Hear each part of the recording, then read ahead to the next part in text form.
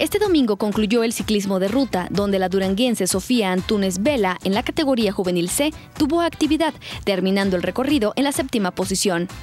en una competencia de 81.6 kilómetros en 12 vueltas y en la cual tomaron la línea de salida 35 competidoras, la duranguense realizó una excelente ruta, manteniéndose en los primeros lugares hasta la décima vuelta, cuando las fuertes favoritas para llevarse las medallas comenzaron a poner en práctica sus respectivas estrategias y en equipo tratar de acabar con las competidoras en solitario, como fue el caso de la duranguense.